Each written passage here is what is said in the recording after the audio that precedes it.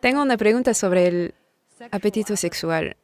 Creo que para, para los hombres es casi como la naturaleza compulsiva que hemos adoptado. Y me pregunto si es así o no, si uno se vuelve más espiritual, su apetito sexual también se vuelve no tanto un apetito compulsivo. Mira, cada aspecto de tu vida, un ser humano es capaz de hacerlo consciente. Eso incluye la sexualidad. También puedes hacer de eso un proceso consciente. Entonces, una vez que es un proceso consciente, ya no es algo que decide el curso de tu vida. No es algo que funcione compulsivamente dentro de ti. Es algo que tú decides. Así es como debería ser la vida humana, ¿no es así? Todo lo decides tú. No te empujan ni te arrastran hacia nada. Y porque es compulsivo, ¿en cuántas variedades de problemas se ha metido la gente? ¿No es así?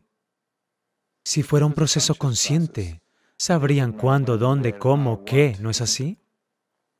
Solo mira la cantidad de abuso, abuso sexual que está sucediendo. Ni siquiera dejas por fuera a los bebés. Eso no es normal, ¿no es así? Eso ni siquiera es humano. Eso ni siquiera es animal, es subanimal, ¿no es así? Porque es una fuerza tan compulsiva. Y sí, es lo más terrible para el niño, pero mi simpatía es también para el hombre. Cuán degenerado debe estar, cuán compulsivo debe estar para hacer algo así. Que un ser humano pueda rebajarse a ese nivel, cuán compulsivo la fuerza que debe haber dentro de él para hacer una cosa así, ¿no es así? Así que eso es simplemente porque ningún proceso consciente se ha traído a la vida. Si solo, si la gente hiciera algo conscientemente, al menos 10 minutos al día, verías que todas estas cosas disminuirían dramáticamente, dramáticamente. No están privados de sexo.